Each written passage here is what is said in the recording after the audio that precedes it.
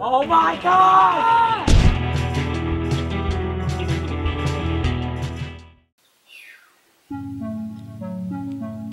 My friends, we have found a very dangerous virus going on all around. It is known as Lateitis.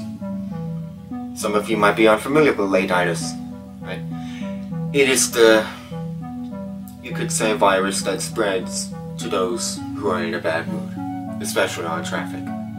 When they're late for work, late for their wedding, late for an appointment, late for their best friend's birthday party, it doesn't matter. If they're late for something, more than likely they've succumbed to lateitis.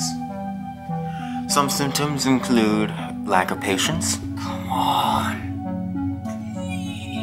anger, Ah! The speed limit here is 30, so you can at least go 55. The speed limit is just a suggestion. Go! What? Oh, I don't need.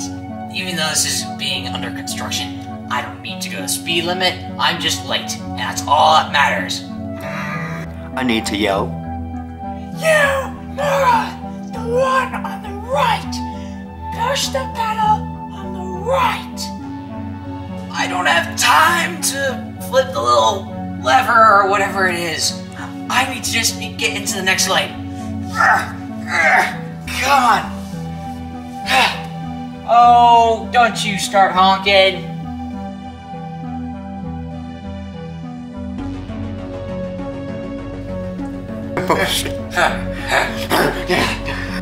Hello, officer. Um, look, I know this looks bad, but there's a very logical explanation for this. I just need like a couple hours to figure out what it is.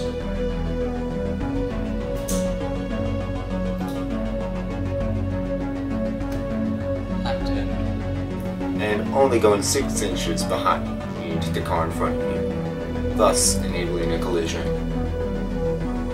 Some say there's no cure to lateitis because of the amount of bad days that one person can get. And there's still no